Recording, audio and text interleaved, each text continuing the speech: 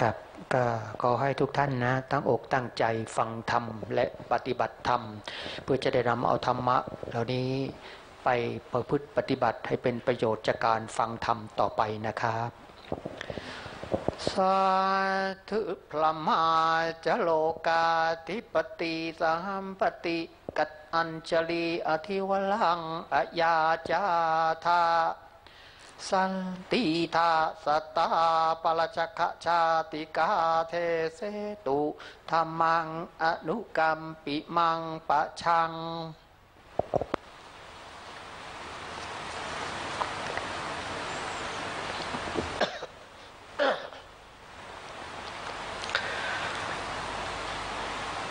นะ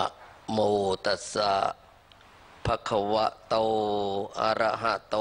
สัมมาสัมพุทธัสสะนะโมตัสสะภะคะวะโตอะระหะโตสัมมาสัมพุทธัสสะนะโมตัสสะภะคะวะโตอะระหะโต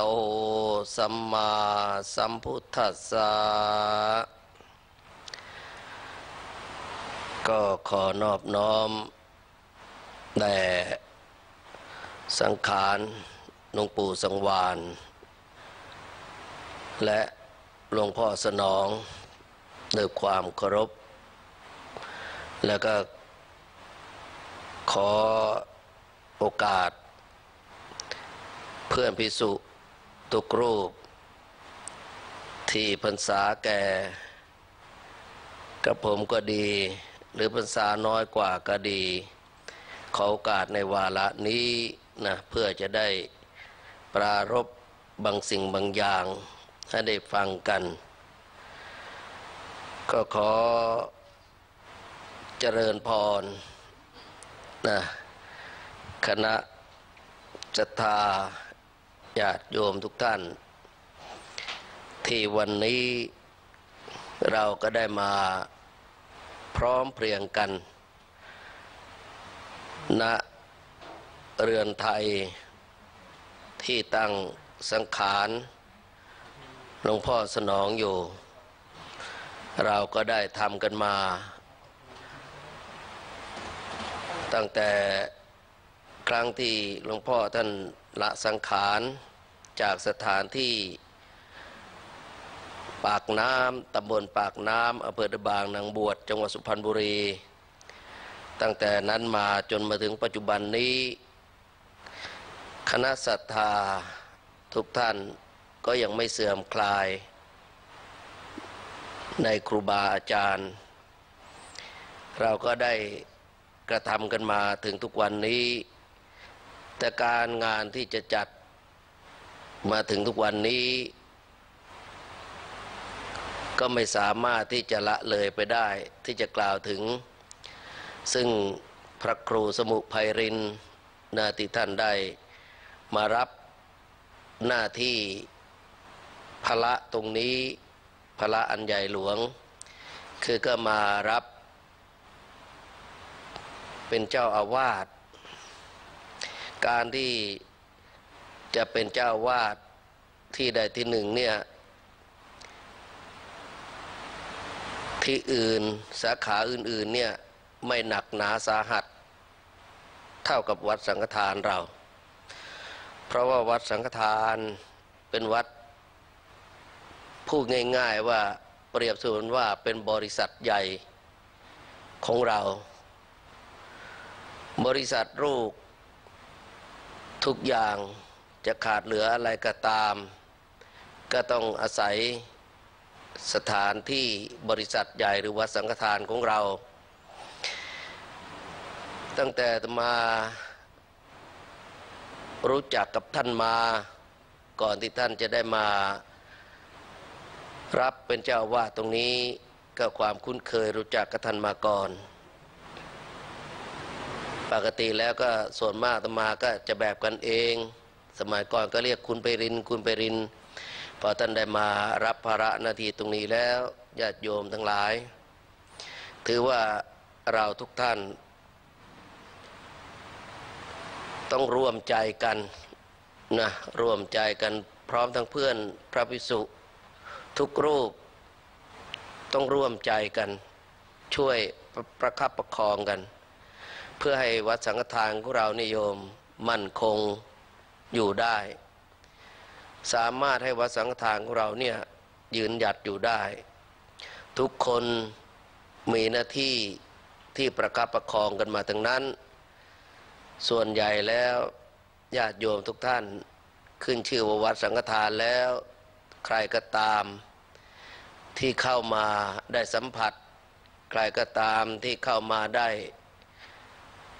ประพฤติปฏิบัติมาสมาทานศีลเจริญสมถกรรมฐานภาวนาวิปัสสนาแล้ว ทุกคนนิยม มาเชื่อได้ว่าทุกคนเนี่ยมีความ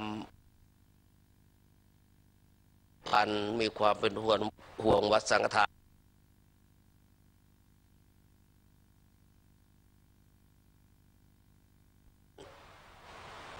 มาก็ไม่นึกว่าวัดสังฆทานนี้ จะใหญ่ ถ้าเป็นครอบครัวหรือว่าเป็นตระกูลที่ใหญ่ก็ไม่คิด พระอาตมาได้บวชพรรษาแรก 2518 บวช2518 บวชช่วงนั้นช่วงเดือนเมษา บวชได้สามวันสามคืนที่อยู่กับพระอาจารย์ที่อำเภอสำชุก กระดันโดนมารู้ว่าหลวงพ่อสนองเนี่ย มาอยู่ที่วัดสังฆทาน กระดันโดนมานั่งรถเมย์สาย 88 จากสุพรรณบุรีมา ลงที่สายใต้เก่า แล้วก็นั่งเรือจากท่าสิริราชมาขึ้นที่ท่าวัดเขียนแล้วก็เดินเข้ามา 2518นิยม วัดสังฆทานมีเนื้อที่ไม่มาก มีเนื้อที่ล้อมรอบ องค์หลวงพ่อโตอยู่ไม่มาก แล้วก็เป็นรากฐานโบสถ์เก่า วัดล้างนะผนังข้างฝาก็ไม่มี ก็มีเพิง เป็นสังกะสีมุงยุคนั้นสมัยนั้น ปี 2518นิยม ได้เข้ามาอยู่กันทั้งหมด 18 รูปด้วยกัน ปีนั้น 18 รูปด้วยกันโยม ก็ถือโอกาสเล่าท้าความย้อนหลัง ให้คนรุ่นใหม่ ๆ ได้ฟังนะ2518 เนี่ยโยม เข้ายุคเข้าสมัยได้มาอยู่กัน 18 รูป พร้อมทั้งหลวงพ่อสนอง ก็มาอยู่กันและยุคนั้นสมัยนั้นก็ลำบากมากโยม กุฏิก็ไม่มีอยู่ ก็อยู่กันนั่นเนี่ยที่โบสถ์เก่าเนี่ยโยม ล้อมรอบอยู่กับหลวงพ่อโต วันไหนคืนดีวันดีฝนตกมีลมหน่อยๆฝนมาหน้าหลวงพ่อโต แล้วก็หลบมาอยู่หลังหลวงพ่อโต เพื่อไม่ให้เปียกฝน ฝนมาข้างหลังก็หลบไปอยู่ข้างหน้า ฝนมาข้างๆก็หลบมาอยู่ซ้ายขวาก็หลบมาอยู่กันนะโยม ทั้งพรรษา เพราะว่าอยู่ก็อยู่กันได้โยมอยู่ได้ความรักความอบอุ่น ด้วยความศรัทธาครูบาอาจารย์ คือมีความศรัทธาหลวงพ่อสนอง เพราะว่าความศรัทธาตรงนี้ที่เกิดขึ้น ก็ด้วยเหตุด้วยผลแล้ว พูดกันอีกในหนึ่งบอกว่ามาเนี่ยโยมไม่ได้คิดบวชจริงจังอะไรหรอก ไม่ได้ไม่ได้ตั้งใจบวชดด้วยครั้งแรกนะนะ แต่พอได้ยินชื่อหลวงพ่อสนองก็แล้วก็เนี่ยโยม ก็ทำให้มีความศรัทธา สามารถอยู่กับท่านได้ เพราะว่าถ้าเป็นพระที่นำลูกศิษย์ให้เข้มแข็ง สอนลูกศิษย์ให้มีความอดทน มีความมักน้อยสันโดษ อยู่กันยุคนั้นสมัยนั้นง่ายๆโยมไม่มีอะไร ถ้าพูดถึงยุคนั้นสมัยนั้นแล้ว พระรุ่นปัจจุบันนี้ถ้ากล่าวให้ฟังแล้วก็ไม่ไม่น่าเชื่อ โยมก็ไม่น่าเชื่อ อยู่กันมายังไม่รู้ว่ารูปร่างน้ำอัดลมเป็นแบบไหน เครื่องดื่มต่างๆก็ไม่มีโยม วันดีคืนดี ทายกทายกแหวงหรือว่าโยมแสวงเนี่ยทามาวัด ก็ซื้อโกโก้ ตรานางพยาบาลมาหนึ่งกระป๋องเอามาแล้วก็มาต้มน้ำร้อนใส่น้ำตาลใส่ขาวชงกันก็โยมลองคิดเถอะสิบแปดรูป โกโก้กระป๋องเดียว วันเดียวก็หมด คืนเดียวก็หมด หลังจากนั้นไปก็วันต่อไปกว่าจะครบเจ็ดวันก็ น้ำตาลใส่ขาว ชงน้ำร้อนกินโยม ชีวิตเบื่อน้ำตาลใส่ขาว เบื่อเหลือเกิน เพราะดื่มทุกวันก็มันก็ไม่รู้จะดื่มอะไรโยมนะแต่ก็อยู่กันได้อยู่กันด้วยความรัก พระรุ่นเก่าๆนิยมตมาก็จะกล่าวให้ฟังทุกวันนี้ที่เหลือ รุ่นพี่ที่เคยลำบากลำบนกันมาด้วยกันสมัยนั้น ก็มีหลวงพ่ออุดม วัดป่าผาตาดทานสวรรค์ จังหวัดกาญแล้วก็หลวงพ่ออุดมสละบุรีวัดบรรพลับนะนี่รุ่นพี่ยุคนั้นสมัยนั้น ก็ท่านนึกดูแล้วก็รุ่นพี่เนี่ยโยมเรือสองรูปทุกวันนี้ นอกจากนั้นก็ยังหลวงพ่อประทีปก็มรณะภาพไปแล้วนะแล้วพอมา ปัจจุบันนี้รุ่นเดียวกันเลยที่บวชกันมาอยู่วัดสังฆทานที่นี่สิบหกรูปด้วยกันโยม เหลือสามเหลือสามก็มีหนึ่งตมาเอง เป็นพี่คนโตสองหลวงพ่อสามารถ เป็นน้องคนคนที่สองสามหลวงพ่อทองสุข หรือญาติโยมอาจจะเรียกว่าหลวงพ่อผาสุขนี่ เหลือสามรูปโยม ปัจจุบัน แล้วก็ตอนนี้ก็รุ่นน้องรุ่นหลังๆมา ก็ยังเหลือบ้าง ถือว่าญาติโยมทุกท่าน วัดสังฆทาน ที่มาบอกว่าไม่คิดว่าจะมาถึงขนาดนี้ เพราะยุคนั้นสมัยนั้นลำบากมากนะแม้แต่เดินบินตบาทก็ลำบากโยม เดินในสวน จักรยานก็ไม่มีให้ขี่ ในสวนโยมมันเป็นสวนทุเรียน และดินก็เป็นดินเหนียวลื่น ฝนตกเนี่ยเดินลื่น บางพระบางรูปในโยมหงายท้อง เดินมินบาตนะลื่นมากนะแล้วก็อยู่ก็ยุคนั้นสมัยนั้นเนี่ยโยม อยู่กับญาติโยมต้องพูดเบาๆหน่อย เดี๋ยวเขาได้ยินอันตรพานเยอะตายหมดแล้ว นะค่อยๆหน่อยนะนะอยู่กันเนี่ยโยมมาด่าพระทุกวัน สมัยนั้นโยม ฉันข้าวแล้วช่วงฉันข้าวก็ก็ไหนๆจะเล่าก็เล่าประวัตินะโยมนะ ช่วงนั่งฉันข้าวก็ ตั้งแต่หลวงพ่อสนองนิยมทำให้ลูกศิษย์ดูมาตลอด อาหารทุกอย่างโยมก็ใส่บาตร ทุกอย่างสมัยนั้นถือว่าทำกันอย่างเต็มที่สร้างบารมีกันกับครูบาอาจารย์ อาหารใส่บาตรทุกอย่างโยมสมานี่สมาทานฉันอาหารในบาตรนี่ข้าวเข้าปากแล้วใครมาให้ทีหลังไม่รับอะไรทั้งสิ้นเลย แม้แต่เครื่องดื่มอะไรก็แล้วแต่พออาหารเข้าปากแล้วไม่รับเลยฉันอาหารก็คลุกเคล้ากันในบาตร เขามาเห็นเขาก็บอกว่า เออแม่กินกันยังหมาเลย คือข้าวสำรวมไงมันเละนะบอกกินกันยังหมา แต่ก็สนุกโยม ช่วงนั้นระยะนั้นนะหลวงพ่อสนองเนี่ย ฉลาดมากโยม ความที่เป็นห่วงกลัวลูกศิษย์เนี่ยตะบะจะแตกว่ากลัวลูกศิษย์ตะบะจะแตกที่เป็นห่วงมากคือเป็นห่วงตมา ปัตมานี่แบบประเภท ก็คนสุพรรณบุรีเนี่ยนะ บ้านอยู่ห่างหลวงพ่อสนองสักสามกิโลได้ ประเภทสมัยยังไม่บวชเนี่ยประเภทไม่ยอมใคร ถ้าใครมาว่าคนที่เราศรัทธาเนี่ยใครมาว่าหลวงพ่อสนองเนี่ยแหมเรียกว่าวิชาขึ้นทันทีเลยหลวงพ่อสนองแต่ก็ฉลาด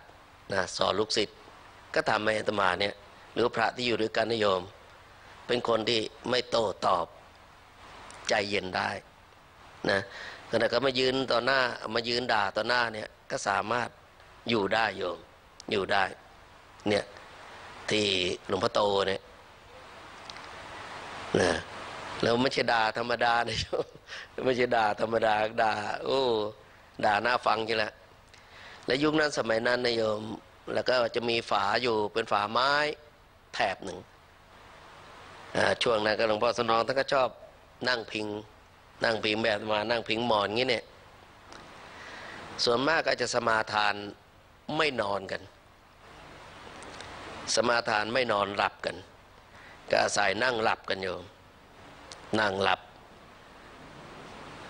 มันมีคนที่คิดจะมาทำลายท่านเนี่ยเดินมาข้างหลัง มันถือขวานมาแต่หลวงพ่อสนองท่านก็ก็คงจะด้วย ท่านคงจะรู้ด้วยอย่างใดอย่างหนึ่งนะเราก็ไม่สามารถที่จะรู้ได้พอมามันมาข้างหลังโยมท่านก็ขยับตัวออกจากฝานะให้นั่งตรง พอขยับตัวออกเนี่ยมันเอาฝานฟันทะลุข้างฝามาเลย ถ้าท่านไม่ขยับนะโดนโดนหลังเลยยุคนั้นสมัยนั้นอยู่กันด้วยความอดทนนะ เดินฉันข้าวแล้วโยม ฉันข้าวอิ่มเนี่ยนั่งก็ไม่ได้โยม นั่งก็หลับ เพราะว่ากลางคืนไม่ค่อยได้หลับกัน เรียกว่าสมาทานเนสันชิกกันบ่อย บางทีก็สามวันบ้างเจ็ดวันบ้างไม่หลับไม่นอนกันสมาทานกัน ยุคนั้นสมัยนั้น เพราะอะไรโยมก็เพราะต้องต่อสู้ ต่อสู้กับผู้ที่เขายังไม่เข้าใจพวกเรานะ ต้องต่อสู้ ก็ใช้ใช้สมาธิใช้การภาวนาต่อสู้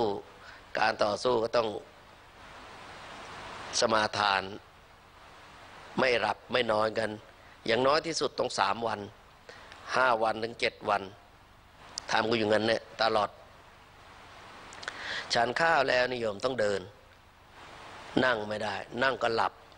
นั่งเนี่ยหลับหัวทิ่มพื้นเลย ไม่รู้หรอก ยืนยังหลับเลย ยืนยังฝันนะโยม ยืนฝันไปบินตบาทเนี่ยตมาเดินฝันเลย หลับ เดินหลับนะพอไปถึงโยมไม่โยมก็ยืนรอใส่บาทเนี่ยพอไปถึงปุ๊บมาหลับเลยไม่ได้เปิดบาทหรอกโยมก็นึกว่าเราเคร่งเปล่ารับ โยมก็ลอยใส่บาท เนี่ยที่นี่เนี่ยนี่เราให้ญาติโยมฟัง ดูสิครูบาอาจารย์หลวงพ่อสนองเนี่ยทำมาตั้งหลายปีโยมหลวงพ่อทำมาตั้งหลายปี ไม่นอนหลับเนี่ย ท่านทำมามามากโยม เป็นพระที่สามารถนำให้ลูกศิษย์เนี่ยทำตามอย่างได้ ไม่ว่าจะมีการด้านความอดทน หรือมักน้อยสันโดษเนี่ยเป็นครูบาอาจารย์ที่ถ้ายุคในรุ่นรุ่นเดียวกันเนี่ยหายากโยม หายากมาก ยุคนั้นสมัยนั้น ถ้าเราจะย้อนยุคกลับไปหาหลวงปู่สงวานเนี่ยยุคที่หลวงพ่อสนองยังไม่บวชเนี่ยยุคหลวงปู่เนี่ยโยมตมากล้าพูดได้ว่า สุพรรณบุรีหลวงปู่เนี่ยเป็นองค์แรกโยม เป็นพระกรรมฐานองค์แรกของจังหวัดสุพรรณบุรี ที่ทำเรื่องพวกนี้เกิดขึ้นหลวงปู่อยู่ในประชาวัดบันถึงมาหกปีหกปีโยมหลวงปู่สังวาน ดูดิท่านอยู่ได้โยม แล้วท่านเป็นพระถ้ากล่าวแล้วไม่ใช่ว่าจะดูถูกครูบาอาจารย์ของเราหลวงปู่ไม่ได้เรียนหนังสือ ยุคนั้นสมัยนั้นเนี่ยทำนาครั้งเดียว มีพี่น้องหลายคน พ่อแม่ก็บอกเอาไว้คนหนึ่งนะ ไม่ต้องให้เรียนหรอก เอาไว้เลี้ยงควาย เอาไว้เลี้ยงควาย ควายสี่สิบห้าสิบตัวโยม หลวงปู่บอกโรดเอ้ยด่าควายเป็นเสียงแห้งเป็นเป็ดเทศเลย ควายมันเยอะ หนังสือก็เขียนไม่ได้โยม หลวงปู่เขียนหนังสือไม่ได้นะ อ่านหนังสือไม่ได้ เพราะไม่ได้เรียน แต่ท่านมีธรรมะ มาสอนพวกเรา สอนลูกศิษย์สอนคนที่มีความรู้ ระดับเป็นด็อกเตอร์เห็นไหมท่านมีความสามารถเอาธรรมะที่ท่านทำมาเนี่ยมาสอนพวกเราได้ และจนก็มาถึงหลวงพ่อสนองเรา หลวงพ่อสนองเนี่ยก่อนจะมาพบหลวงปู่เนี่ยท่านก็บวชอยู่หัววัดธรรมดาตัวๆไป ก็ถ้าไปเที่ยวตุดงกับเขากรดนี่อันเบลเลอร์ นะแล้วเสร็จแล้วก็กลับเลิกจากตุดงก็ ถ้าถ้าไม่คลาดเคลื่อนนะโยมนะ ถ้าไม่คลาดเคลื่อนนะแม่ แม่ของหลวงพ่อเนี่ย แนะนำให้มาเจอกับหลวงปู่สงวานถ้าก็มีศรัทธาก็ขอขึ้นกรรมฐาน กับหลวงปู่ ฝากตัวเป็นลูกศิษย์ หลวงปู่ก็ ให้อารมณ์กรรมฐาน ชี้แนะให้ แล้วหลวงพ่อสนองก็ อยู่ในป่าช้าวัดหนองไผ่สามปี สมาทานไม่พูดไม่คุยกับใครทั้งสิ้น แม้แต่แม่ของตัวเองก็ไม่พูดย่าแม้นนิยมทำอาหารส่งลูก พระลูกชายทุกเช้า แต่พระลูกชายไม่พูดด้วยเลย ไปขออนุญาตหลวงปู่สังวานว่าขอให้ได้คุยกับพระสักหน่อยหนึ่งเถอะอยากจะคุยกับพระลูกชายมาก หลวงปู่ว่า จะไปคุยทำไมล่ะ คุยมาตั้งเยอะแล้ว พระท่านจะทำความเพียร เพื่อเอามรรคผล เราอย่าไปขัดขวางท่านสิ แต่ยะแมนก็เชื่อนะ ไม่คุยหรอกโยมสามปี ไม่คุยกับแม่ ดูทีโยม เป็นพระที่ ใจเด็ดเดี่ยวมากหลวงพ่อสนองเนี่ยหลวงหลวงปู่สังวานยุคใหม่ๆอะท่านพูดให้ลูกศิษย์ฟังว่า เออ พระสนองนะทองแท้นะ ท่านบอกพระสนองนะทองแท้นะนะดูสิพวกเรานิยมที่ได้มีโอกาสได้มา บวชเนกขมะเนี่ยโยมได้มาสมาทานศีลศีลแปดก็ดี หรือวันพระเนี่ยเป็นศีลอุโบสถก็ดี เราได้มีโอกาส ได้เสียสละ เวลาอันมีค่าของเรา ในเมื่อเรามีโอกาสอย่างนี้แล้ว ก็ได้มาฟังเกล็ดครูบาอาจารย์ ที่มากล่าวให้ เพื่อได้เป็นกำลังใจ ได้เป็นกำลังใจ จะได้มีกำลังใจว่าเราก็จะต้องทำอย่างนั้นบ้าง นะเราทุกคนนิยม ทุกวันเนี้ยเราได้มาฟังธรรมปฏิบัติธรรมเนี่ยถือว่าชาตินี้เกิดมาไม่ขาดทุน เกิดมาไม่เสียชาติเกิด เราได้มาทันพุทธศาสนา เราได้มีโอกาส ได้มาทันครูบาอาจารย์ แต่ละรูปแต่ละรูป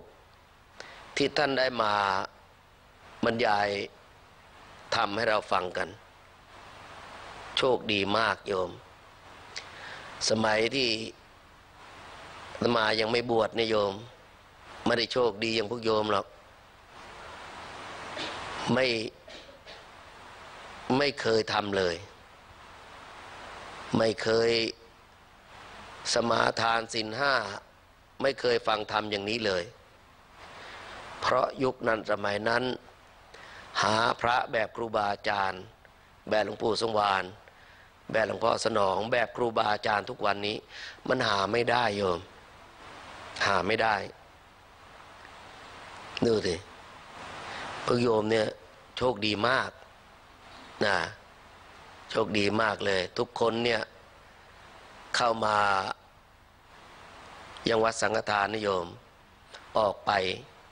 อย่าให้ขาดทุนนะอย่าให้ขาดทุนนะเราได้มีโอกาส ได้มาฟังครูบาอาจารย์ได้บรรยายให้เราฟัง แม้แต่บางครั้งเนี่ยง่ายๆโยม ดูสิอย่างหลวงพ่อไพลินเนี่ยความจริงท่านป่วยนะโยมท่านป่วยพระโยมไม่รู้บางทีว่าท่านป่วยแล้ว ท่านก็มานะ มานั่งเป็นประธาน เป็นประธาน สุขภาพร่างกายท่านก็ไม่ได้แข็งแรงหรอกโยม ดูสิพูดกันแล้วไม่ได้เข้าข้างตัวเองนะ โอกาสตายก่อนตมาเยอะ นะไม่ได้เข้าข้างตัวเองอะเพราะสุขภาพร่างกายท่าน ก็ท่านจะไม่ค่อยมีแรงโยมนะแล้วพวกเราล่ะ ร่างกาย ยังแข็งแรงดี ต้องมีมัน มีเพียรพยายามโยมพยายามภาวนากันนะพยายามภาวนากันหลวงปู่สังวานบอกว่า ชั่วช้างสะบัดหู งูแลบลิ้น ไก่กระพือปีก จิตสงบแค่นั้นเนี่ยสามารถนำพาให้เราไป สวรรค์ได้โยม นี่หลวงปู่สงวานถ้าเรามีมีมันมีเพียรนโยมทำที่จะปรากฏเกิดขึ้นกับเราเนี่ย ต้องได้โยม แค่ตอนนี้โยม ดูดิเนี่ยมีความอดทน มีความอดกลั้น ก็มานั่ง มานั่งฟังธรรมกัน มาปฏิบัติธรรมกัน ไม่ต้องสังเกตอะไร ไม่ต้องไปดูอะไรโยม ให้ดูใจของเจ้าของว่าใจเป็นไง ใจสบาย ใจสงบ ใจดี ใช้ได้แล้วนะ ก็ไงก็ขอญาติโยมทุกท่านนะที่ได้มา เสียสละอวเอลามีค่าของเราได้มาบวชกัน ได้มาฟังธรรมกัน อยู่เป็นประจำ ก็ขอให้ทุกๆทท่านนะไม่ว่าจะปรารถนา สิ่งหนึ่งประการใดก็ตาม ก็ขอให้สมความปรารถนา ขอให้เราทุกท่าน จงมีดวงตาเห็นธรรม ตามพระสัมมาสัมพุทธเจ้า สุดท้าย ขอให้ได้มรรคสี่ผลสี่พระนิพพานหนึ่งด้วยกันทุกท่านทุกคนเทินสาธุ สาธุ สาธุอนุโมทามิ ที่ท่านได้ฟังจบลงไปแล้วนั้นนะคะ เป็นเป็นความเมตตาแสดงธรรม จากพระครูประหลัดบิโรธสิรินทโรหรือหลวงพ่อบ่ายนะคะเจ้าวาดวัดสองพี่น้องตำบลแพรกศรีราชา จังหวัดอำเภอสันบุรี จังหวัดจังหวัดชัยนาทค่ะกราบในความเมตตาค่ะค่ะตอนนี้ขอเชิญเจ้าภาพนะคะ ถวายไตรและทยธรรมองค์แสดงธรรมขอเชิญคุณลุงสมัครพุทธทอง ถวายพระไตรค่ะเรียนเชิญค่ะ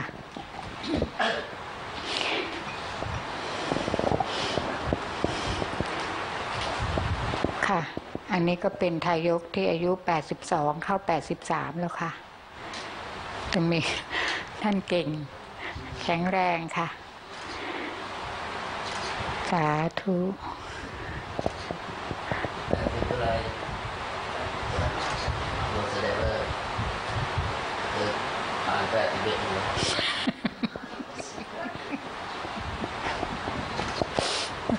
สาธุ ต่อไปแม่บ้านค่ะแม่บ้าน คุณป้าจรูนพุทธทองอคุณป้าจำรูนชุดทองพุทธทองค่ะ ถวายทายธรรมเรียนเชิญค่ะ แม่บ้านค่ะมทนาสาธุ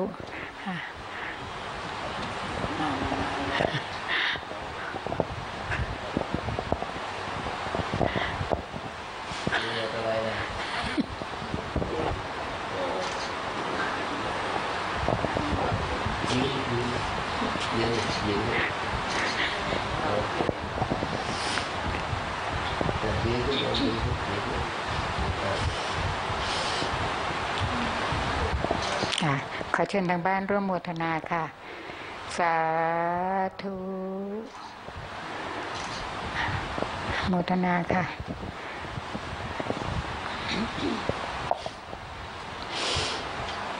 ใครไม่แก่บ้างไม่รู้คนเราถ้าเคยแก่เนี่ยถือว่าโชคดีโชคดีคนไม่เคยแก่คนไม่เคยค่อยๆมาพี่คนไม่เคยแก่เนี่ยตายแต่อายุน้อยๆนะ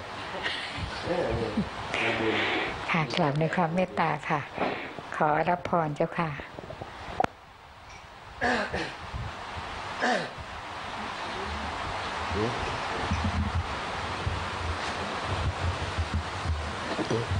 ให้กี่ลูกลูกเดียวนะ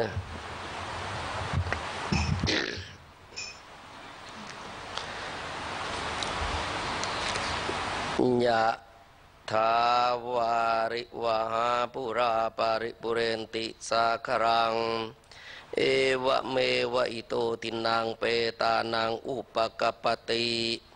อิชิตังปฏิตังตุมหังคิปะเมวะสมิจันตุสัพเพปุเรนตุสังกปา จันโทปนะระโสยธามณิโช ติระโสยธาสัพพิติโยวิวัจจันตุสัพโรโควินัสตุมาเตภวัตวันตรายโยสุขีที่ขายุโกภวะอภิวาทนาสิริสนิจัง วุธาปจายโนจัตตารโอธรรมาวัฒนติอายุวันโนสุขังพะลัง สาธุ ค่ะกราบในความเมตตาค่ะหลวงพ่อบ่ายบอกว่าวัดสองพี่น้องจะทอดกระถินวันที่ 22 ตุลานะคะ ให้ไปฟรีค่ะ เป็นรถวัดออกจากวัดสังฆทาน เวลาตีห้านะคะ อาทิตย์อาทิตย์ที่ 22 ตุลาคมอ่าเสาร์ที่ 22 ค่ะ เสาร์ที่ 22 ค่ะก็ใครจะไปช่วยท่านหน่อย ท่านบอกท่านเหลือแต่สองพี่น้อง คนไม่เยอะให้ไปช่วยท่านหน่อยนะคะไปฟรีค่ะ มีรถไปหนึ่งบัส ใครต้องการไปไปลงชื่อไว้ที่แม่สีค่ะ คุณแม่สีจะวางกระดาษไว้ให้ลงชื่อนะคะ ให้ดูว่าได้ถึง 42 ท่านหรือยังคือหนึ่งบัสค่ะ ไปฟรีนะคะ วัดสองพี่น้องแพรกศรีราชาสันบุรีชัยนาทค่ะขอเชิญเจ้าภาพอีก 8 ท่านค่ะลุกเลยค่ะ ถวายถวายอาทยธรรมแล้วก็ ทอดพระไตรเชิญเลยค่ะ เดินเลยค่ะลุกขึ้นค่ะ เดี๋ยวนะคะ ครบแปดคนแล้วค่อยกราบค่ะ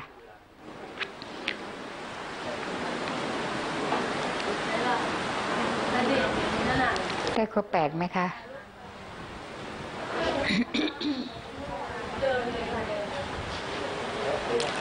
ครบอะแปดยัง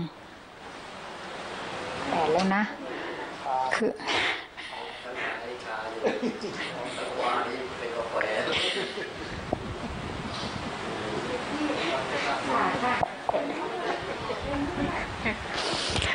จะภาพพร้อมแล้วกราบพร้อมกันสามครั้งค่ะกราบ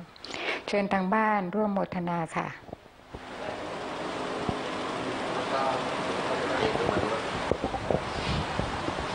ค่ะหยิบเครื่องเทยธรรมขึ้นมาอธิษฐานจิตค่ะ อธิษฐานก่อน เดี๋ยวประเคนพร้อมกันค่ะ พุทโธธรรมโมสังโฆสาธุเดี๋ยวรอโยงผ้านะคะสำหรับวันนี้ก็มีการแสดงธรรมตลอดรุ่งค่ะ ถ้าฝนไม่ตกก็ลานธรรมนะคะ ฝนตกก็คงจะเป็นสาลานได้ขมมะค่ะสามทุ่มถึงสี่ทุ่มครึ่งนะคะ พระอาจารย์ติเล็กอัตลักษณ์โขให้กรรมฐานค่ะ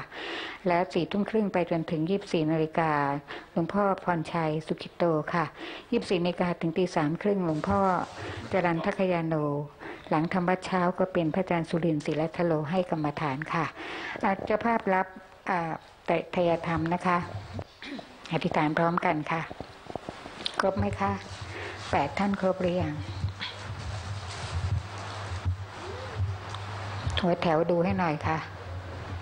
ครบนะคะพุทโธธรรมโม สังโฆแก่ดี เจ็บดี ตายดีค่ะประอ่าทอดผ้าค่ะ สาธุ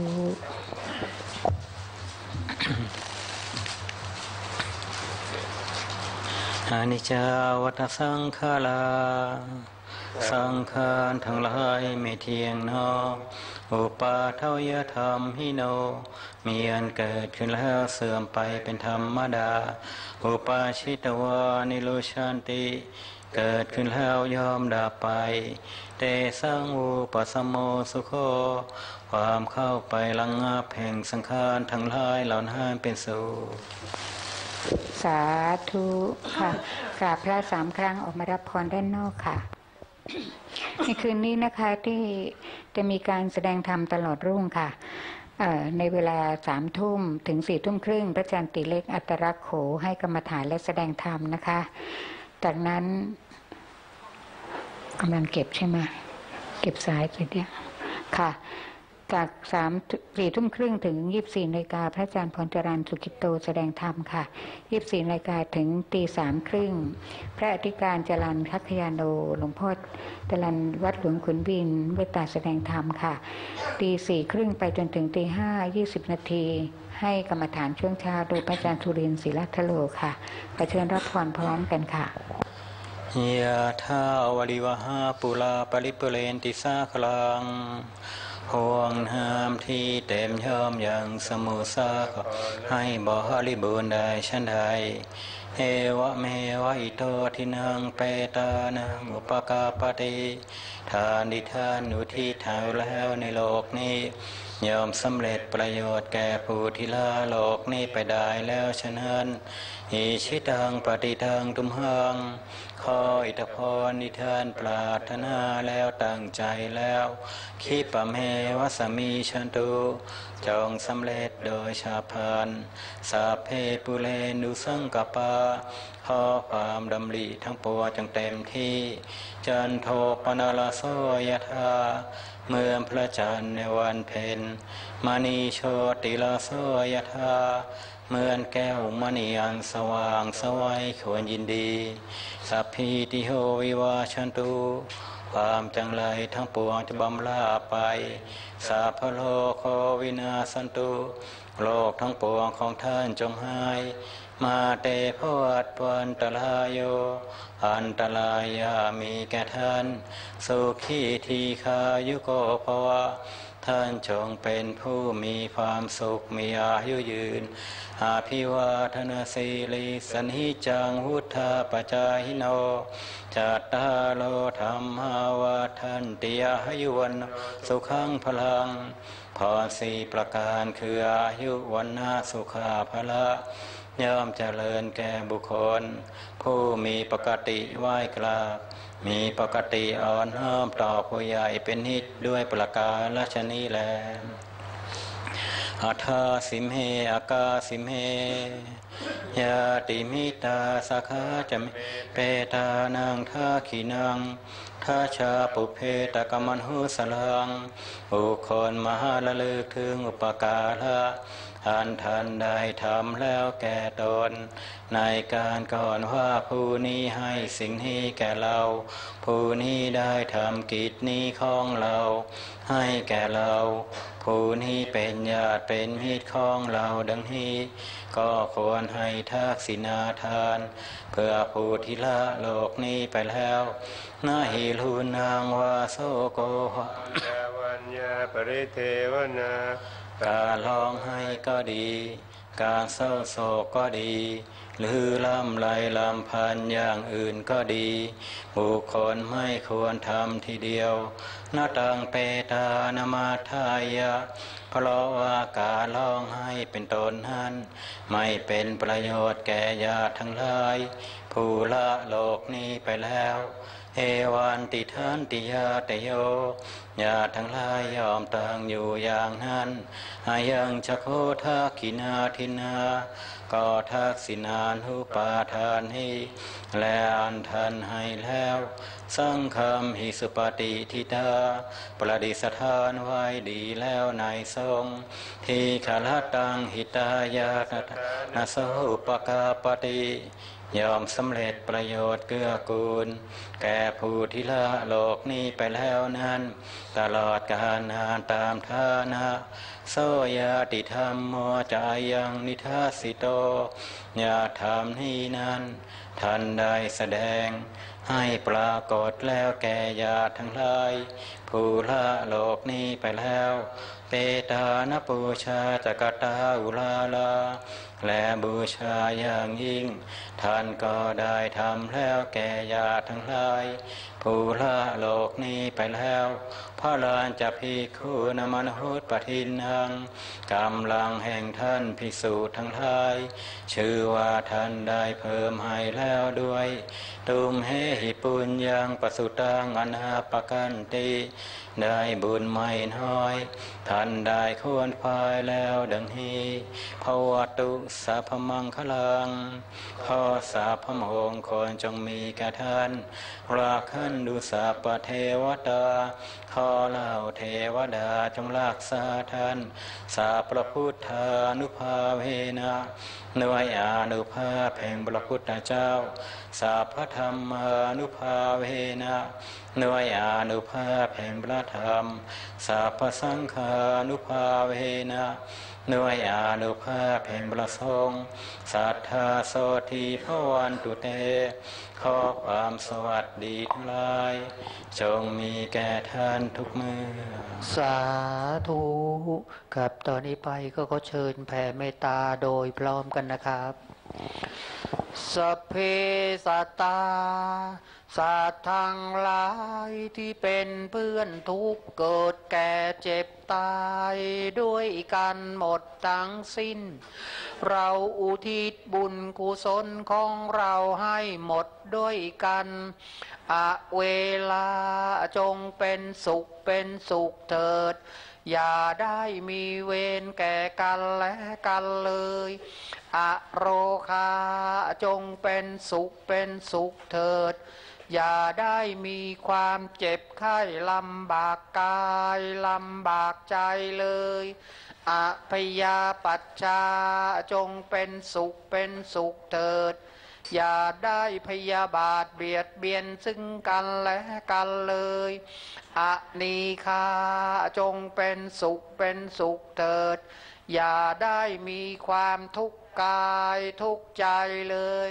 สุขีอัตตานังปริหารันตุ จงมีความสุขกายสุขใจ รักษาตนให้พ้นจากทุกภัยทั้งสิ้นนี้เทิน เยี่ยมตัวกูเข่ากับปะพร้อมกันนะครับอะระหังสัมมาสัมพุทโธพระกวา พระผู้มีพระภาคเจ้า เป็นพระอรหันต์ดับเพลิงกิเลสเพลิงทุกสิ้นเชิง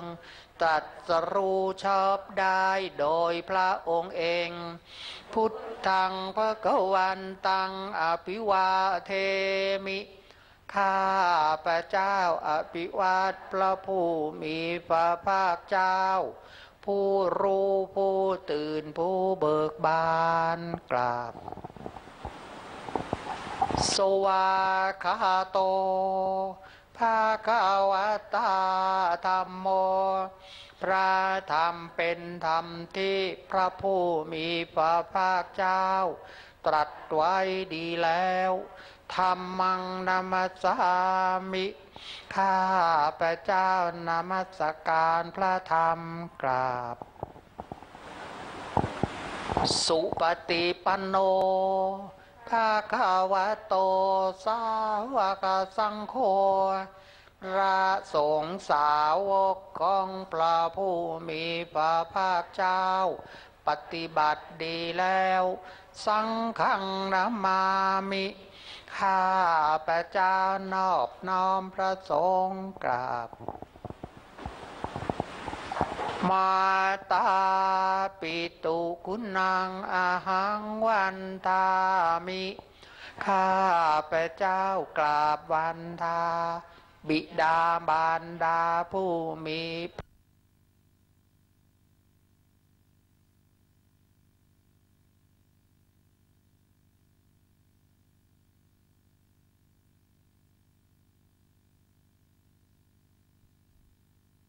ข้าพระเจ้ากราบวันทา ครูอุปชาอาจารย์ผู้มีพระคุณโดยความเคารพกราบครับขอเชิญกลับบ้านพร้อมกันอีกสามครั้งนะครับ พร้อมแล้วกราบ